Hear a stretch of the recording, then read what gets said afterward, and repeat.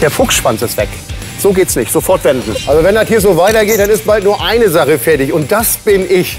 Was mich noch alles erwartet. Und vor allen Dingen euch. Seht selbst. Viel Spaß bei Folge 6.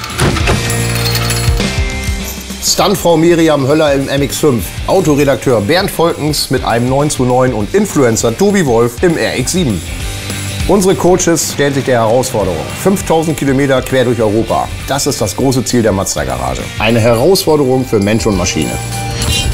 Beim letzten Mal haben Tobi und ich die neue Optik seines RX7 designt und in Auftrag gegeben. Aus dem Klassiker wird dank Folierer Michael ein echter Hingucker werden.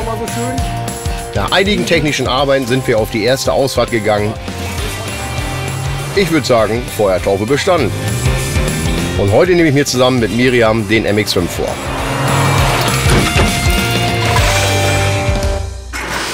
So, was kommt noch auf den Zettel? Ich meine, ein paar Sachen hat sich gewünscht. Also, Zündung? Ganz ehrlich, Zündung ist scheiße. Ja, ja, also ja. ich sag, verbrennt nicht sauber, Kabel, Kerze ist klar. ja. Flüssigkeiten steht fest. Ölwechsel, genau. Mann, Jungs, was ist denn hier los? Ihr sitzt nur rum. Ich dachte, ihr schraubt schon. Seid fleißig. Wir sind hier gerade, hier waren wir ja voll Brainstorming, was wir dir alles Gutes tun können. Ja, erzähl mal. Ein paar Sonderwünsche hattest du auf dem Zettel. Ja, das sind ja alles technische Daten. Was mit dem Design? Da hast du mir einiges versprochen. Ja, ich sag mal so, ne? Bügel, Brett. Überrollbügel wolltest du haben. Ja, ist klar. ja. Folierung. Folierung Und du hast mir einen Fuchsschwanz versprochen. Eins nach dem anderen, pass auf. Ich hatte schon Kontakt mit dem Folierer, der muss auch ein bisschen rockig daherkommen. Ne? Ja, okay. Den bimmelst du an und dann schaut man, was man machen kann. Cool. Ja? Super. Und wir gehen noch mal ran. Und du kommst auch gleich wieder. Ja, ich nach dem Callcenter. kurz. Und dann packst du mit an. Alles klar, auf jeden Fall. Haben wir's doch. Während Thomas und ich weiter am MX5 arbeiten, bespricht Miriam mit Folierer Michael ihre Designwünsche. Also, Michael kommt jetzt vorbei und ich bin sehr gespannt, was für Designideen er hat. Also, auf geht's. Mit dem NA begann vor fast 30 Jahren der große Siegeszug des MX5, bis heute der meistverkaufte Roadster der Welt. Gerade die Klappscheinwerfer der ersten Generation des MX5 sind Kult und haben Fans auf der ganzen Welt. Und Miriam gehört jetzt auch dazu.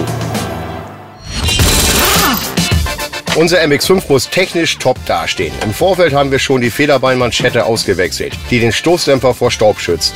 Die alte war rissig, Stoßdämpfer und Feder dagegen stehen noch voll in Funktion. Komm, aber kann doch nicht wahr sein. So, Jungs, also Michael kommt gleich vorbei. Was macht ihr? Also wir machen jetzt erstmal den Grundcheck, aber auf jeden Fall schmeiße ich noch mal an, weil ich habe den Verdacht, da ist was nicht ganz in Ordnung. Ich meine, der lief am Anfang nicht schlecht, muss ich sagen. Ne? Okay. Aber jetzt hör mal genau zu. Vorsicht. Na, merkst du das? Das ist unrund. Ja, ist total interessant, wie viel Wissen Det und Thomas eigentlich haben, weil ich jetzt keine Schrauberin bin, aber vor allen Dingen gerne auch lernen möchte, denn bei einer Rallye kann mal was schiefgehen und da muss ich wenigstens so ein, zwei Tricks schon drauf haben. Der MX5 hat ein Problem im Leerlauf. Am Auspuff kann man die Druckschwankungen sogar fühlen. Wir machen uns sofort auf die Fehlersuche und leider taucht dabei der nächste Defekt auf. Der hier. Oh nee, der haut hier richtig einen weg. Ah nein! Hier, nächster Fehler. Guck dir das mal an. Er schießt mir unten direkt auf eine Masseschraube. Ach du Scheiße. Ja, das ist auch scheiße. Kannst mal ausmachen.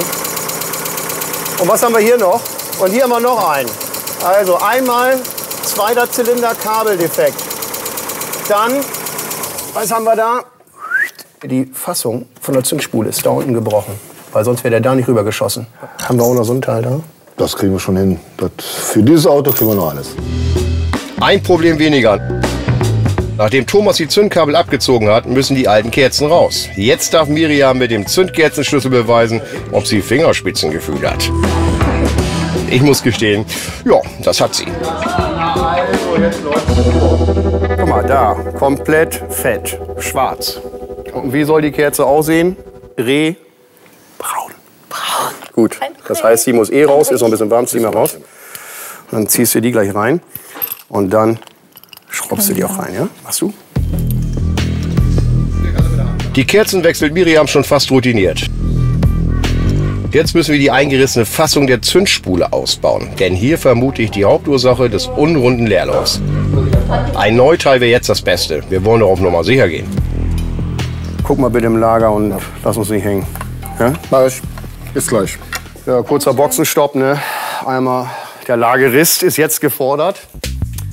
Weil wenn du einen schlechten Funken hast, haben wir, glaube ich, eine schlechte Zeit.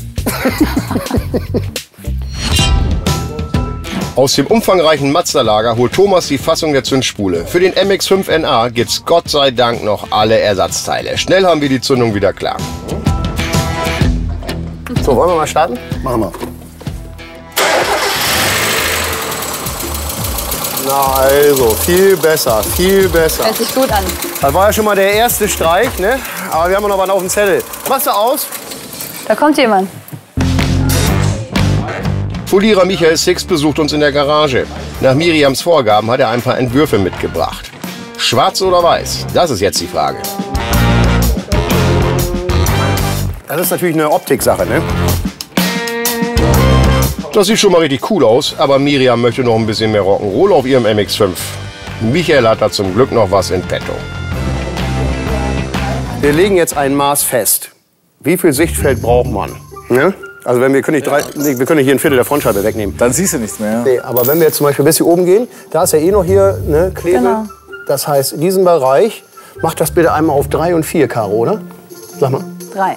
3, okay. Die Dame sagt 3. Drei Karos, jawohl. Kriegst du das hin? Das kriege ich hin. Okay. Schwarz bleibt. Schwarzes Logo. Checker Fleck auf der Frontscheibe. Und Seitenspiegel. Ja, wenn man mich im Rückspiegel sieht, dann soll das natürlich nicht nach Mädchen aussehen, die jetzt mal ein Rallye fährt, sondern das soll schon ordentlich rockig aussehen. Das soll kämpferisch und stark aussehen. Und mit den Rallye-Streifen und mit der Flagge in der Scheibe und an den Außenspiegeln werde ich auf jeden Fall vom Design her ganz vorne mitfahren. Bei meiner ersten Probefahrt hatte ich Wasser im Schweller festgestellt. Das muss raus. Ja, siehst du, I, ja, I ist das eine, ne? Aber, weißt du was? Dieser Dreck verursacht das Schwappen beim Bremsmanöver. Hört sich jetzt bescheuert an, ne? Aber du kennst das auch? Ja, ja, ja. Wir müssen die Kiste jetzt hochfahren und dann wollen wir mal von unten ein bisschen was freistochern. Die Abflüsse, die Abläufe müssen frei sein. Ansonsten heißt das ja, ich meine, die Kiste gammelt dann ja auch ruckzuck weg. Dann schauen wir mal, was da kommt. Ich fahre nicht, ich schwimme. Ja, nee, auf keinen Fall. Ne? Du schwimmst im Verkehr mit, aber erstmal Kiste anblasen. So, und hier haben wir schon den ersten Übeltäter. Siehst du das? Oh ja, Das ist ein Ablauf. Und was hängt da drin? der ist ja voll. Ja, und was ist das? Verstopft. Deshalb versuche ich mit einem dicken Draht die verstopften Ablauflöcher wieder freizukriegen. Da haben wir einen Widerstand. Da müssen wir durch. Ja, was ist denn da los?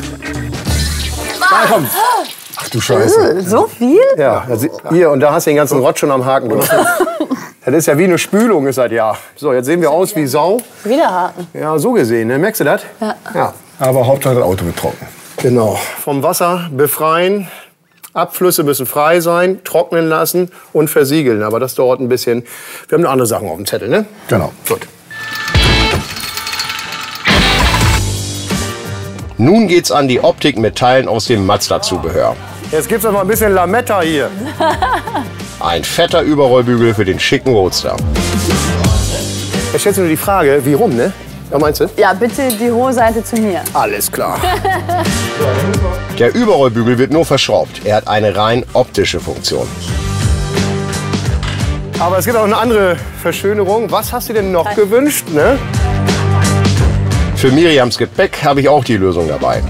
Wie rum willst du es haben? Das kommt nach vorne. Ja, ja, gut, das kann die Dame ja entscheiden. Ne? Das kommt nach vorne. Also ich sag mal so, wenn du noch einen dicken Koffer raufstecken willst, oder was willst du eigentlich mitnehmen? Ein paar Schlüpper wäre schon gut. Schlüpfer. Dann wir andersrum müssen Der Kofferträger wird nur eingeklemmt und ist schnell montiert. Dann habe ich noch eine ganz besondere Überraschung für Sie. Miriam muss jetzt ganz stark sein, ne? Ich dachte, wir machen eine Hast, Probe. ja, ma, ja, aber du hast hier einen äh, Fuchsschwanz gewünscht, um Gottes Willen. Du bringst mich aus dem Konzept hier, du. Pass auf, der muss hier ran. Das ist Pflicht, ne? Früher gab es ja äh, Manta Money und jetzt bist du Mazda Miri. Ja. Und deshalb ist das Ding Pflicht. Ist auch, ist auch kein echter. Ja, da sind ganz viele Polyester für gestorben. Ich weiß aber, dass, ich habe mir einen Fuchsschwanz gewünscht. Das ist eine Krankheit. Das ist keine Kreatur, das ist jetzt gut für die linke Spur. Du fährst, steck ein. Also Fuchsschwanz, Probefahrt ist okay. Aber für die Rallye, ja oder nein? Ich bin sehr gespannt, was ihr dazu sagt. Kommentiert unten. Ist ja wohl klar, was da steht, ne? Komm, Zündung. Jetzt gilt es, bewährt sich die Kombination Miriam und MX5 auch auf der Straße? Auf den ersten Blick, ne? Merkst du vom Gefühl her? Ja, total. Ist ja wie ein Go-Kart, das ist echt. Siehste? Siehste? Oh, da will ich 5000 Kilometer richtig Spaß haben. Der MX5 passt zu Miriam wie der Deckel auf den Topf. Da muss ich mir keine Sorgen machen. Aber was der für einen Spaß macht, ne? Die, die Bremse, die, da müssen wir noch mal ran. Ja, ich meine, noch haben wir ja nicht das Finish erreicht. Ne? Aber wir sind schon kurz vorm Ziel. Wenn unser Klein aus hat, sich der Fuchsschwanz verabschiedet. Und nun schaut mal, was passiert, als Miriam das bemerkt. Wo ist der Schwanz? Der Fuchsschwanz. Der Fuchsschwanz ist weg. So geht's nicht. Sofort wenden. Wir machen uns direkt auf die Suche. Hoffentlich hat noch keiner das Polyestertier mitgenommen. Uns ist ein Fuchsschwanz weggeflogen. Der wegen an einer Antenne. Haben Sie hier was liegen sehen? Danke. Dankeschön. Danke, danke. Komm mal weiter. Ich wollte gerade singen. Weine nicht, wenn der Fuchsschwanz fehlt. Fahr weiter. Ja, ja, da ist er. Pass auf, Rahmenblick. Ah! Rahmenblinker an. Ich fahr ein bisschen weiter. Sekunde, das müsst ihr verstehen. Fahrrad ist drüber gefahren. Da ist er. Da ist er. Hier, die Kette ist rausgerissen. Das ist der Grund. Oh, da, die hängt Oh, warte, da kommt ein LKW. Oh Mann. Steig ein. Ja, ich hab ich. Jetzt kann ich nur gewinnen. Ich kann jetzt So. nur gewinnen. So, pass auf. Fahr mich zur Werkstatt. Jetzt heißt es Abschied nehmen. Oh. Ja gut, aber ich habe eine absolute Vorfreude. Das wird jetzt der Oberhammer. Wenn das Ding komplett fertig ist, auch mit der Folierung und so, Hammer.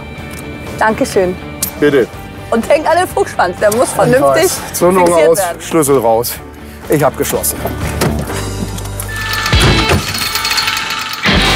Ja, die Uhr tickt, hohe Drehzahl ist angesagt, aber Miriam sieht keine Probleme.